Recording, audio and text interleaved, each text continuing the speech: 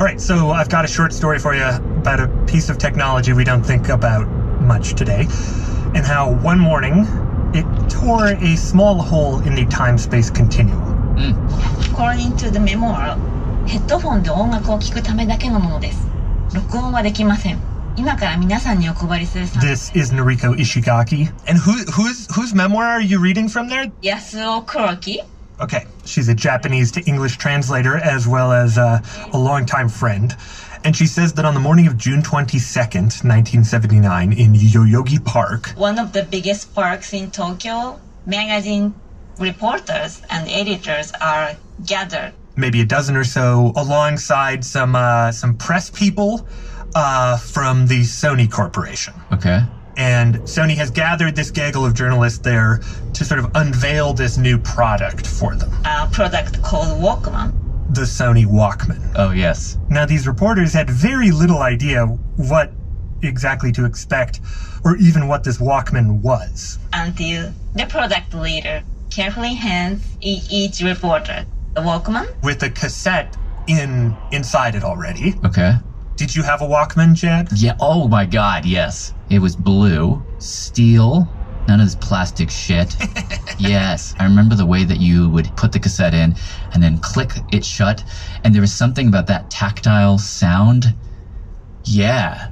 Yeah, yeah, yeah. Anyhow, so these reporters put on these orange headphones And then the event organizer says, please press the play button. One, two, three, go.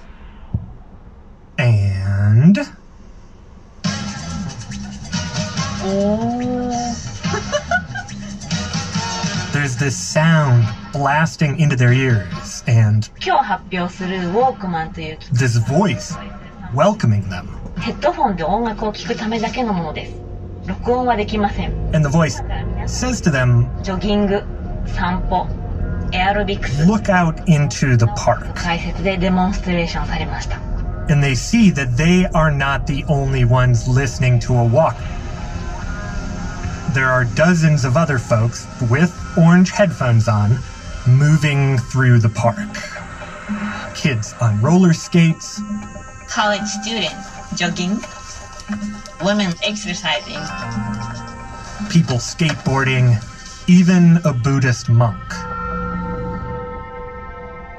Like the this scene that you and I see every day walking down the streets. Uh, you know, people in their own little world listening to whatever they want to. Yeah. This is the first time anyone had ever seen that. Amazing.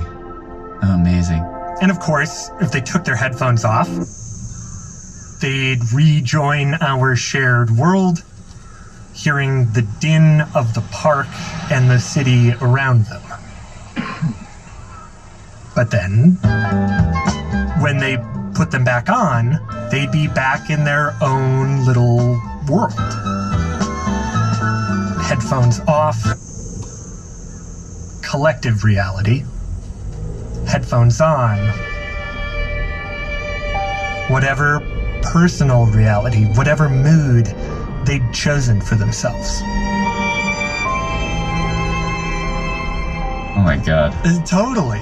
And maybe you can communicate this better than me because you lived it, but like, this was all so new. Like, most of these people had probably never worn headphones before. They've never had stuff pumped directly into their ears. They've never listened to something outside before, short of a transistor radio or maybe a boombox. And they're now doing it all together, but by themselves. Pe- people don't really understand what a, what a big deal the Walkman was. Like, remember when uh, Steve Jobs did the iPhone? Everyone was like, "Oh my god! Oh my god!" Yep, yep. This was like that times a thousand. You'd go that far. It, no, really. Like to go from a world where you had to sit on your ass and listen to music in a specific place to suddenly you could walk, like literally walk, and have the music playing just for you, thereby soundtracking your journey. You know, I was like, this is a movie, and I am the protagonist. This is amazing. Like it was, it was, it was amazing. Well, as amazing and liberating as it was, it was also controversial. Almost immediately, folks were hollering that this personalized siloed, intimate consumption of media was going to end community, if not society as we knew it. It's like uh, it's like uh, the same conversations we're having now about Twitter and Facebook. Oh, yeah. And so, I don't know, in more ways than one, I think what Sony unintentionally gave those reporters that morning was a glimpse into the future.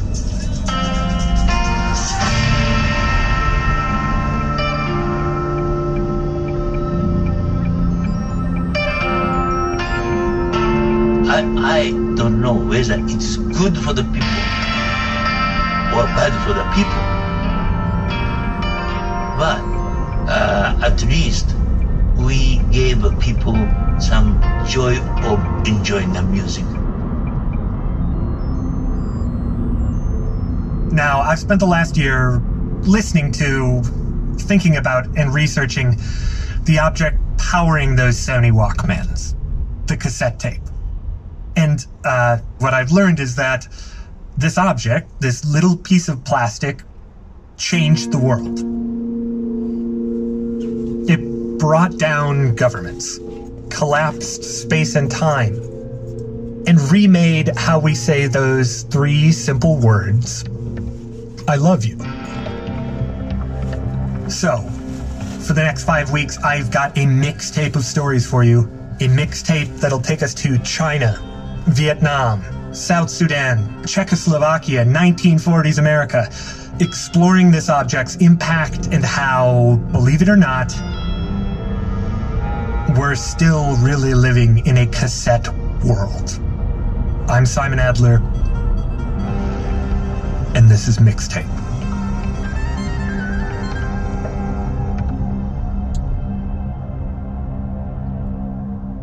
Okay, well, uh, Simon, why don't you just take it from here? I'll just uh, just excuse myself and go listen to my Walkman in the kitchen.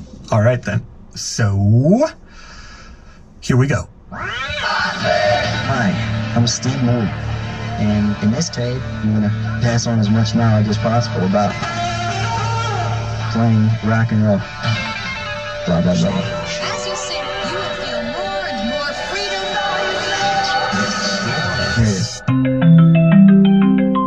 kicking off in Hangzhou, China, with this guy. 喂，喂，老师好，你听得到吗？听得到，听得到，不好意思，刚才静音了，没听见。没关系，没关系。 This is Hao Fang, 我是郝仿，有有。 alongside our interpreter and really uh, co-reporter in China, who, for political reasons, has asked to remain anonymous. 我是在 Anyhow, these days, Hao Fang writes about music for a living, but he says, you know, back when he was a kid, he had no idea that job even existed. He was born in 1963 in this very small town called Tianjiang. Very small. The kind of place where you'd walk for 10 minutes and be on the outskirts already. Surrounded by mountains, lush countryside, and super isolated. I mean, the best source of reading material he had had was uh, at the time people would use old newspaper as as wallpaper. Oh, right, like you want to make it look good. And so when Hao would go over to his neighbors' houses, he would just dash to the wall and start reading. Wow. Because there's so little for him to read. But well, Hao was hungry for any information about the outside world, his real love was music. 可能有遗传因素， Right. His mom worked in this art and dance troupe, 因为那是他的第一份工作。 a organization under China's military, creating music and choreography. what we nowadays refers to as red songs or 样板戏, revolutionary operas. This is historian and scholar Mabu. I'm a music fan. I also write about music. And he says these operas were really a tool of the government. I mean, of course, I, I didn't live through that time, but they were propaganda. I mean, campy, over the top productions filled with dolled up Chinese soldiers, really pretty girls, long legs, determined peasants, 对这些敌人的 corrupt businessmen, and in them the peasants seem to always win, and the capitalists get what they deserve. 它其实，在我们小时候，我们我们觉得。And I mean, Hao loved this stuff. 我觉得什么歌都很快乐，包括。I remember watching my mom sing, and I would join. It was simply something that made me happy. But there, there was very little for him to listen to. because actually these revolutionary operas they were the, the only officially sanctioned style of music and nationwide there there were only eight that are that people could listen to so There were um, only eight operas. That that was the the yeah yeah eight eight operas. Virtually everything else was illegal. Does that mean that if I turned on the radio in China in, let's say, 1974, I would be hearing one of those operas being played? the answer is yes but then back in those years it's not that common for a person to turn on the radio um, it's, it's more about loudspeakers which was the, i guess the most common way to, to listen to music so you don't even tune into them, they're blasted to you through loudspeakers. Mm-hmm. might sound unbelievable to you, but that's Hao it was back then.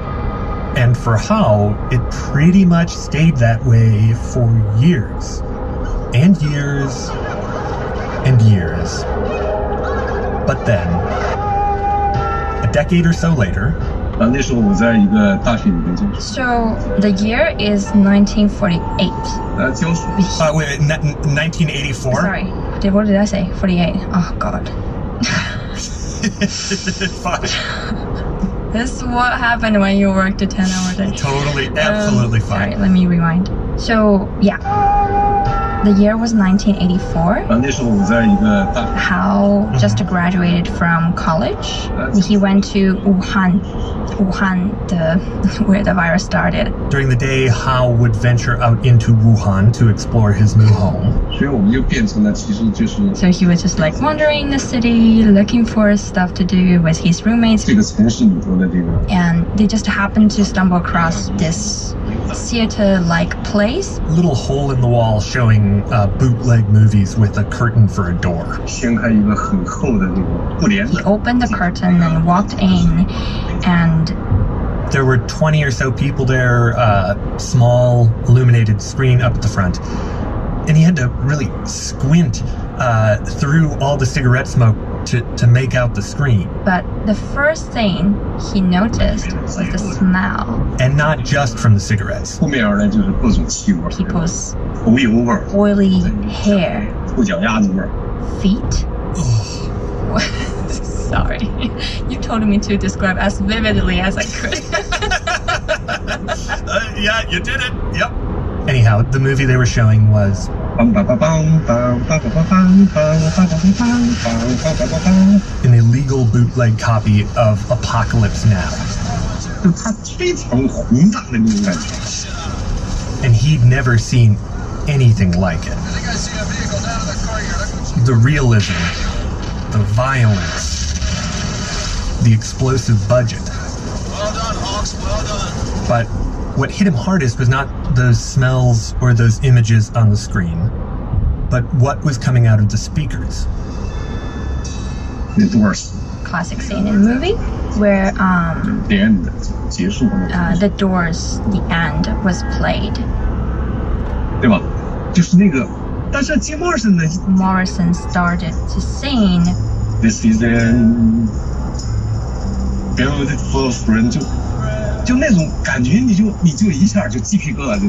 He remembers being frozen. He had goosebumps all over him.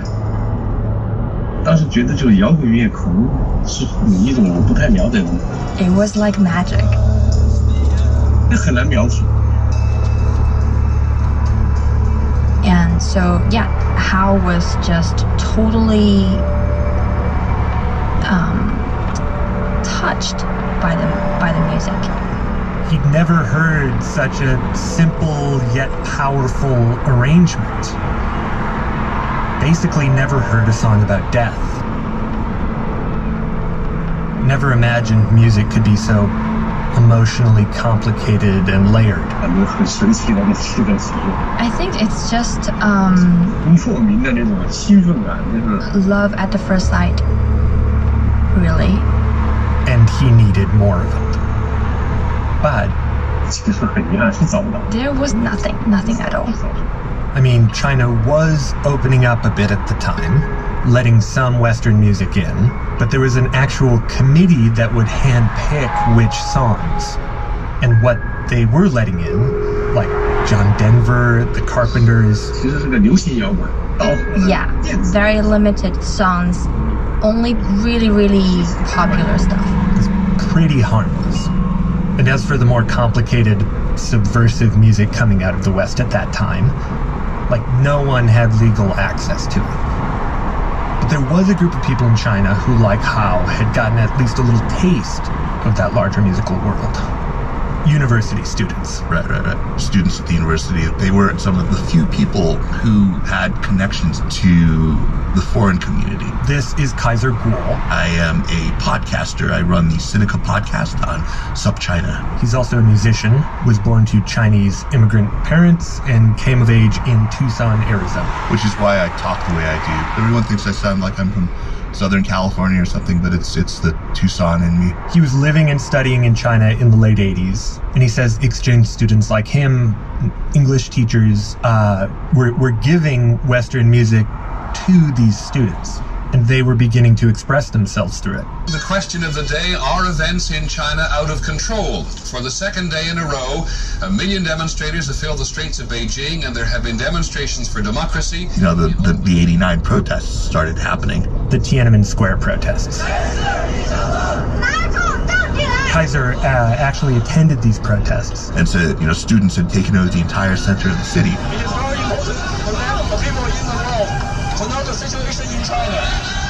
These students in Beijing were demanding democracy, uh, freedom of expression, freedom of access to the outside world. But also, Kaiser told me, uh, they were doing this thing that doesn't really get talked about much. He said that right there in the heart of the demonstrations, People would just sort of set up stacks of PA and then they'd have, you know, all the bands at the time just playing, you know, what long into the night.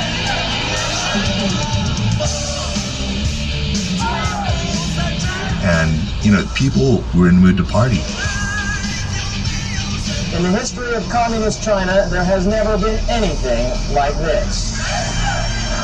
Well, th- this is a version of, of the protest that I haven't heard. You'll uh, we only ever hear about or talk about sort of the, the end of them, I suppose. Right, right. We're going to talk about the seven weeks of just love and, and anarchy. It was wonderful.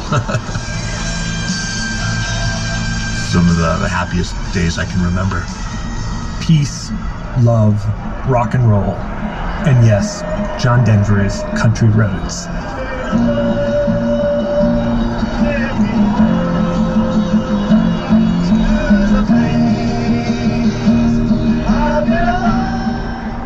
But then, on the morning of June 7th, I uh, turned the television on. Kaiser had left Beijing and was several days behind the news. And the very first image I see is of a the charred body of a of a copper soldier hanging from a bridge. The protests turned violent. Of course, they, they only showed, you know, the, the the violence that had been perpetrated on you know on the military and law enforcement, and there was some, of course, but you know they didn't show all you know the, the, the students or the, the workers who had been shot. Killings in and around Tiananmen Square. As the army units approached, they were firing into side streets, killing and injuring scores of unarmed men, women and children. The bicycle rickshaws scooped up the injured. The air was filled with shouts of "Stop killing!" Their own army was firing wildly at them. Tell the world, they said to us. The number of killed is not well known, but estimates put it in at least the hundreds. The Chinese Red Cross says at least 2,600 people were killed. some going up to as many as 3,000. Students claim thousands of others were wounded. Yeah, yeah, it's really remarkable. Crazy.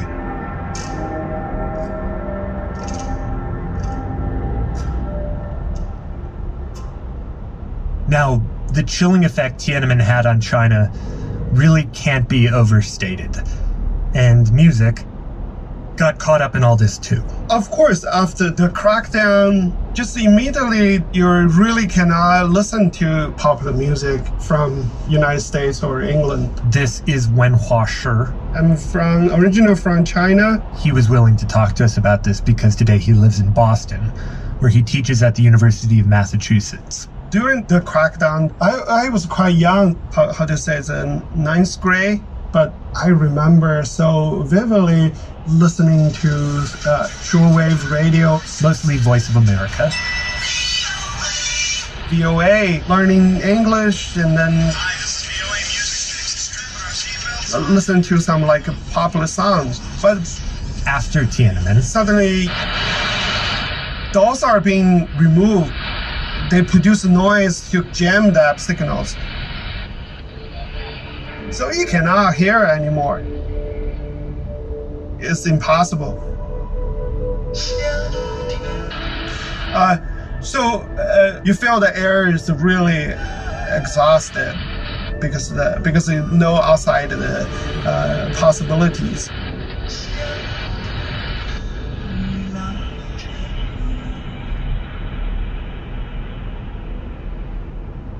But just a few short years later, the outside came flooding in, in pretty much the most unexpected way I can think of.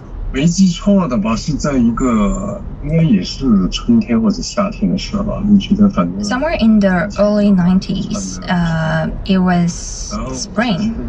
Somewhere in Wuhan or Xi'an. Again, music critic Hao Fang. 那个真的是借来的钱。 He was on a business trip. He was ma- meeting a friend, but the friend wasn't there and he was early and he heard some rock music being played.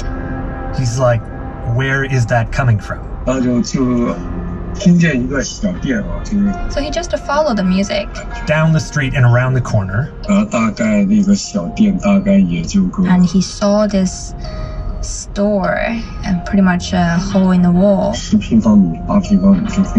stepped in and he was just caught off guard completely. It was a store filled with tapes. More than he'd ever seen in his life. Yeah, Walt Walker says hundreds, hundreds of hundreds of tapes. And he's like, what the hell is this place? 就是因为 You will be like turning around and there's Jefferson's airplane. 呃 Michael Jackson、Elvis Presley、 Turns around and there's like Bob Dylan. 邦交委啊什么 Simon Garfunkel，就这种 And then he turns around, there's Yes Band and really niche ones. Like, is this for real? 全部是就是你曾经就是说你梦想过的这种东西，你想要的东西全部都出现。 It, it was everything you ever dream of 后悔钱带走。 in that tiny store. And it was cheap. So he thought this is his only chance to own these tapes. And so, yeah, he grabbed all these albums, 你你肯你第一时间你肯定先把它拿在手里再说。 as many as he could carry. This big plastic bag with like 20 something tapes. He checked out and began inspecting his treasures. One by one. he started like examining them, analyzing and comparing. And he saw that each of them had been cut through the jewel case and into the bottom of the cassette. The cut was about the width of a quarter and an inch or so deep. And he was wondering, you know, like, why is there some marks on these tapes? Mm-hmm. Or, you know, what happened to them? I mean, he didn't know, but he was encountering Dakou. 打口打口袋打口 cassettes 打口打口 tapes 那很愉快呀、啊，那。He didn't know where they came from. He doesn't know there's gonna be more access to Dakou. 这个啊，就是说对我来说。And he didn't know it was gonna be a national scene. He didn't know these Dakou tapes were about to change how he and millions of others in China thought about music all how new at the time, was that he wanted more. We'll get to that right after a quick break. This is Ronia from Ypsilanti, Michigan. Mixtape, a special series from Radiolab, is supported in part by Science Sandbox, a Simons Foundation initiative, the Shanahan Family Charitable Foundation, and the Alfred P. Sloan Foundation. This concludes side one. Turn your cassette over to begin side two. Hey, it's Latif. You know how sometimes at the end of the year you're sort of looking back over what happened and you start to notice like secret patterns? This year for us at Radiolab, it was birds. So, as a little extra this month, we designed a set of stickers for new signups to our membership program, The Lab. We have the Golden Goose, Vultures from Corpse Demon, the Lesbian Seagulls, the Sci-Hub Raven from the Library of Alexandria. Head over to radiolab.org slash join to check them out. Chirping in will help us make this show that we love. Thank you for considering it. This week on the New Yorker Radio Hour, Liz Cheney, an exile from the Republican Party, on the threat of a second Trump term. In some instances, what he's doing is even more blatant than we've seen from other dictators around the world. Liz Cheney on the New Yorker Radio Hour from WNYC Studios. Listen wherever you get your podcasts.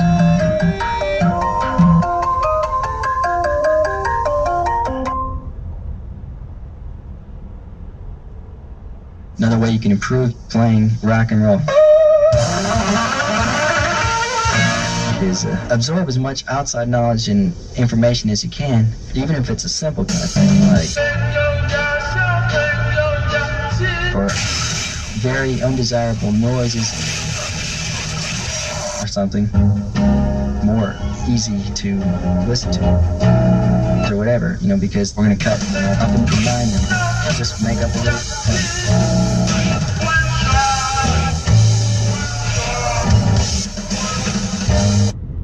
I'm Simon Adler. This is Mixtape. Before we went to break, after decades of Communist Party operas, sprinkled only with the occasional John Denver song, Hao Fang had stumbled upon a trove of cassettes filled with music that neither he nor pretty much anyone else in China had ever had a chance to hear before. And the thing is, he wasn't alone. I mean, rows and rows and rows of tapes. This again is Wen Hua Shi, who also encountered one of these stores. You see Bob Dylan, and then you see, no, this is not just one Bob Dylan. That's 10 Bob Dylan. Whoa, this, this is crazy. And wh- where where were they coming from? Uh, at that time, nobody knows. Well, well, I mean, I, I've, I've been trying to confirm that um, that very origin of that, that very first person who discovered Dakou. Again, historian Mabu. And people's been, you know, telling me about this person um, who they call Professor Ye. What, Professor Ye? Yeah. So Ye, Ye 老师. Yeah. Ye Lao Shi. Yes, okay, yes. Yellow. Oh my god. Even you you heard of this guy. Yeah, Yellow. And while we couldn't 100% confirm that he was the first guy, he was certainly one of the first. So this is, uh, I guess, the, mo- the most common version of the story. So Ye 老师, he, he used to be a, a professor or, or at least a lecturer in, in the uh, Shantou University located in southeast China. And in the early um, 1990s, Professor Ye took a trip to this nearby town of Heping, tiny, tiny sort of village in a way, you know. Maybe to do some research, maybe on vacation. I don't know why exactly, so, but somehow he was there. And he got a tip that he should go check out this giant warehouse. Uh, it was actually a recycling center. What we call 料厂. At that time, China was buying up and importing much of the world's recycling. And this town and warehouse was processing all of the plastics. And looking around at all this plastic, waiting to be ground up into tiny little pellets, he realized He was standing in a mountain of cassette tapes. I mean, to the left of him, a pile five feet high. To the right, a mound of them 10 feet high. There were thousands and thousands of cassettes, each with a cut into it. I mean, of course, he would be astonished, imagining what kind of sounds is in there uh, and thinking, who is this band? Who, who is this singer? And he would be dying to hear um, the music in it. Yeah. The point is that those cassettes came in as plastic scrap and they came in tons. 但是我看到的场景超越了我的想象，你知道吗？ That warehouse made my jaw drop. For the sheer number of cassettes in there, This again is Hao Fang, who years later took his own trip to Heping to see it. You couldn't possibly count how many cassettes there were. Millions and millions of tapes, yeah. Ballpark estimates Mabu gave me put it somewhere between 45 and 150 million of them each year. I'm ready. Very good. So Simon will give you a ring here in a minute, and uh, okay so, so I just walk. I'll hear him coming through my phone, but I'm talking in the microphone, right? that's exactly right. All right. Now, to figure out the origin of these millions and millions of garbage cassettes, Hello. I gave this guy a call.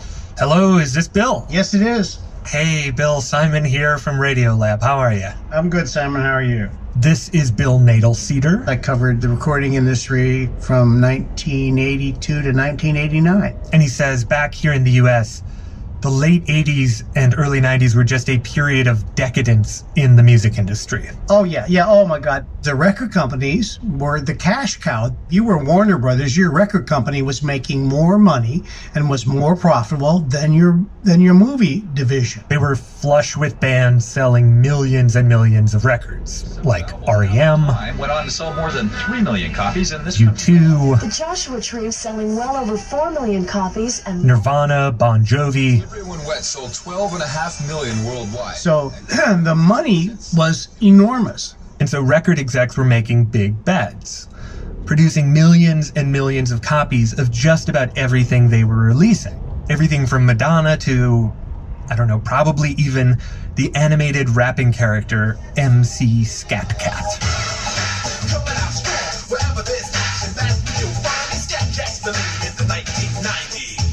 Mean, they were producing so many that even a hit record often left hundreds of thousands of unsold copies, uh, let alone a flop like MC Scat Cat. And so, what did they do with this surplus? They wanted to get rid of it. Okay. And so what they would do is they would sell them in bulk for pennies apiece to a network of buyers and resellers. First, they ended up in record stores labeled as cutouts. You know, a discontinued record is called a cutout uh, because they cut it out of their act- active sales category. If they didn't sell there, someone would buy them in bulk for pennies on the dollar again, try to sell them somewhere else. Truck stops, car washes, drugstores, and whatever else. And finally, if no one wanted these cassettes, they sent it out to be destroyed. The standard way they did this was to run a saw blade through them, cutting about an inch deep into the cassette itself, leaving a gash in the plastic and a break in the magnetic tape. And from there, unbeknownst even to Bill, It's getting there in garbage and like big fucking tra- barges, trash. Is that what you're saying? Exact bar. Yes, scrap barges. Wow. These cut up cutouts were thrown into shipping containers and shipped to China, where Professor Ye found them as these mountains of scrap. I, I, I, I take heart from this. The music will get to the people no matter what. you know? However, for this music to get to the people of China, these cassettes needed to be repaired. Which is what Professor Ye tried to do. Here's what we're going to do bring the tools out here. His theory was essentially Even if the, the mechanism is damaged, you can take the tape out, again, Kaiser Kuo. splice it, and rewind it onto a, a new cassette body. It wasn't going to be easy, In fact, it was going to be a royal pain in the ass. Okay, here we go. But after sawing a John Denver cassette nearly in half. oh yeah, and you went right through. You can see we got the tape itself is split. Oh yeah. My AP and really co-pilot on this series, Eli Cohen, and I also set out to see if we could do this. So, first things first. We're going to have to destroy it further in order to bring it back to life. We had to get the John Denver tape outside of its broken cassette shell. Smashing it with a hammer. Now we've got some breakage, and now it quite like the experience of uh, like cracking open a crab leg or something. There we go. with the John Denver tape out of its cassette. screws. Eli opened up the cassette we'd be transplanting John Denver into, and we taped the John Denver tape onto the new reel of tape. Snipped off the excess. Beautiful. Oh. Struggled a bit. Damn it. Okay. Eventually succeeded. It's time to uh, sew the patient back up. And screwed the new cassette back together. It looks functional. Yeah, I don't see why it shouldn't play at this point. And so, we popped it into my tape player. Big money, no whammies.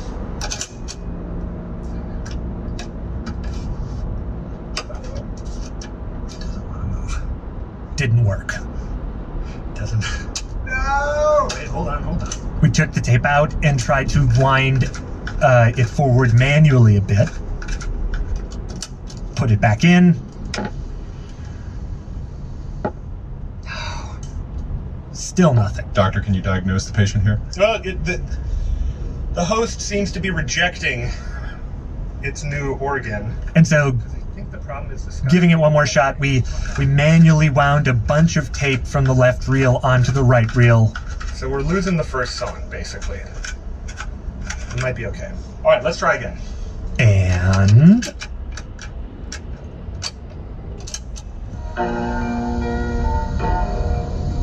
Sunshine on my shoulders makes me happy.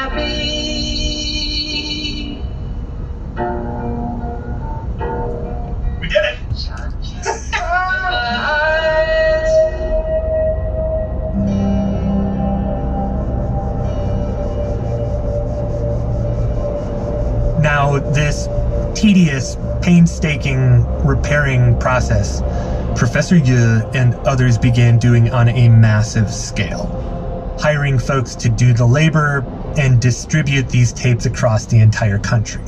And he or someone like him eventually gave these things a name. Dakou. Dakou. Which just so happens to translate to Uh, cut out. We somehow um, also invented this term. and they spread like wildfire.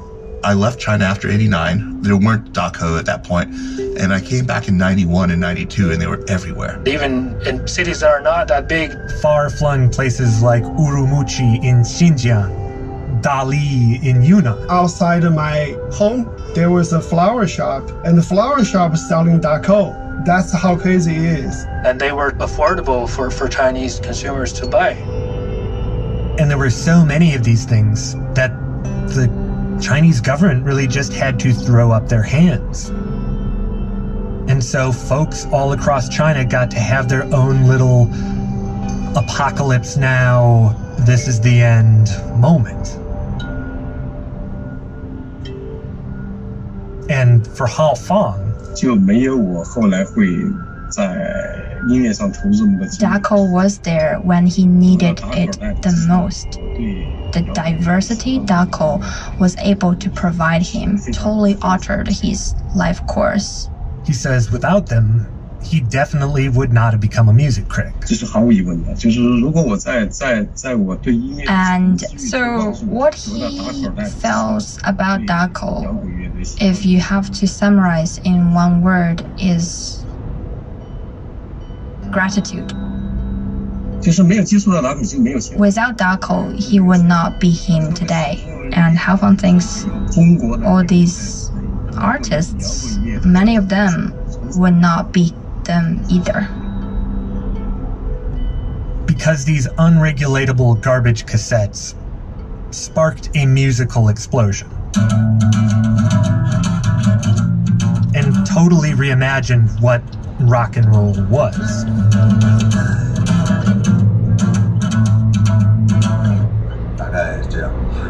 This is Li Yang. Today he's a musician with tattoos, sleeves crawling up each arm. And these Dakou tapes are what inspired him and countless others to form bands in the first place. Uh, do we do we know the name of his first band? I'm not sure he told me that. Um, you know, everybody's embarrassed by the name of their first band, so he probably didn't want to tell you the name. or he kept on saying, I can't remember because of, of the life I've lived. That's all I can remember. So, you know, I can only imagine. And that's Rebecca Cantor, journalist in Shanghai, who helped facilitate and uh, conduct our interview with him.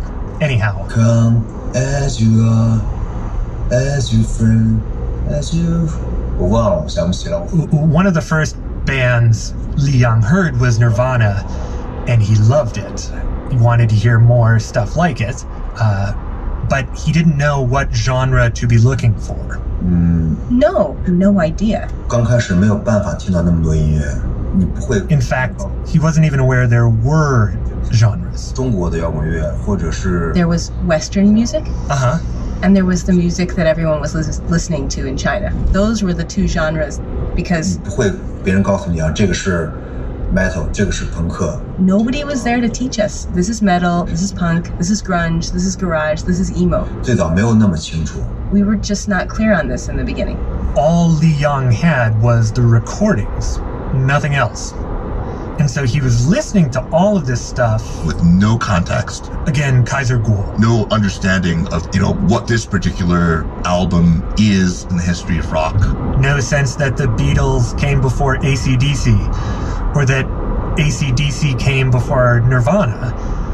Certainly no sense of what was quote unquote good. So, for example, the Beatles and, and Bob Dylan, a lot of people complain about their sound are just, you know, very common sounds. So, Wait, wait, wait. People thought Bob Dylan and the Beatles were underwhelming? yeah. And in their place, what folks were drawn to was God, there were so many, so many obscure bands. For example, this really obscure Finnish symphonic metal band called Sonata Arctica. There were a lot of them that were like that. Stratovarius, get it? Right. I think also from Finland. Fin- Finland was overrepresented here, but Cannibal Corpse. They're a Floridian death metal band. They're big. Sort of. But I started seeing their cassettes all over in China. And for Kaiser, this was all sort of horrifying. You know, I, I, I would say, for example, you got to start with the Beatles and the Stones and the Who, and you, know, you can't skip because you know Nirvana doesn't make sense unless you understand what it was in reaction to. Well, and I, I totally get that. Like, I studied jazz saxophone for 10 years. Really? Yeah, yeah, yeah, yeah. And that is all about knowing exactly what came before what. Right, right. And knowing who played what lick when and quoting those licks in your solos to demonstrate a knowledge or an understanding of the form. Oh, yeah, yeah, yeah. So, I don't know, like, there is value in understanding something in its context. Oh, for sure. Yeah. However, Kaiser says. I mean, I, I kick myself now for for having done this sort of school of rock uh, teaching. Hmm, because he says of what happened next. Mid 2000s, Kaiser's at a music festival in China. And who does he run into but Li Yang and uh, the band he's fronting called Demerit. Demerit 的音乐受 I see these guys. They show up to sound check, and they've got you know gigantic mohawks, denim jackets and the spikes on them, Chuck Taylors. They're dressed like a punk band, uh, which is what Li Yang was going for. He says in hindsight, the stuff he was listening to was 像 hardcore punk，也喜欢 punk rock。but Kaiser notices that under this punk exterior, they're wearing Iron Maiden t shirts. I think that's ironic, right? They're they're kind of making fun of Iron Maiden. Haha, that's very funny. Because Iron Maiden is one of the classic heavy metal bands that plays these crazily technical songs with intricate guitar solos. Like punk and metal is just a total musical mismatch. But then later that day, when it was Demerit's slot to perform, They get up and they start playing their songs, and they're like a you know punk, major chords, exactly what Kaiser expected from a punk band. kind of brash, bratty vocals. But then, partway through the song, they bust into these dual guitar solos where they're you know they're shredding in in tight harmony it's this chimera of 70s American punk and 80s British metal. and it's like whoa. I thought in america there's no punk band that would bother to you know apply that much technique and no metal band that would have been okay with that aesthetic but uh, it was great. And it was like a, this is a music i could really get into. And, and so i talked to them. I'm, I'm asking them so are you guys punk Like, how do you think about these genres that you're blending together? and so 我们可能做的比较比较， they said we don't really care about that 但可能也就是 Demerit 的这风格就是这样。 There was something freeing that he didn't he didn't know what it all was, and so he 对对对，那个时候我们在一起不知道怎么做乐队，就觉得有吉他有贝斯， he didn't have any rules. He could just make stuff, 你随便弹就行这种。 make music, mixing everything together 哦，我明白，就就这样子写歌写音乐这样。 the way that he wanted to. He was able to make music liberated from its own history or expectations. And all across China, other musicians were doing the same thing. Obliviously mixing rock with bebop, with outlaw country, with classical.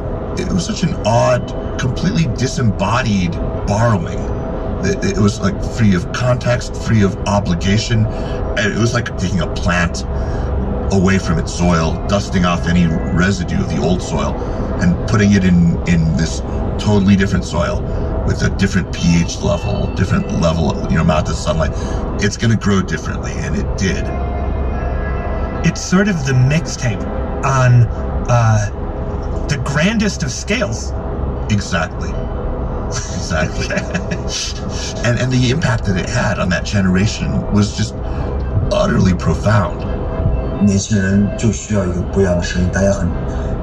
For him, the, the biggest impact of, of Dakou Cassettes was not music. It was about him finding a new way to think about the world. Maybe he didn't know he was searching for it, but when he heard it, he was like, oh. 我应该这样，我是这样的。我去这样生活。Yeah，that's me。我去这样去表达。如果有十个人改变，也是一个改变。So Dakou, it was just like a little window. 都有很大的改变影响。And then everything came rushing in.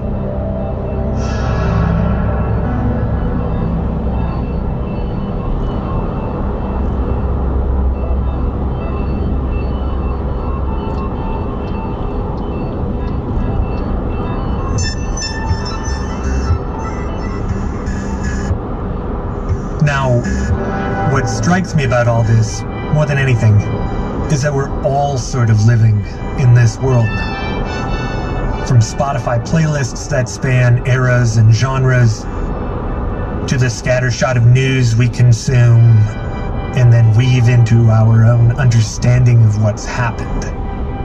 I mean, our tastes, our beliefs, our realities are a collage a mixtape of decontextualized and then recontextualized snippets.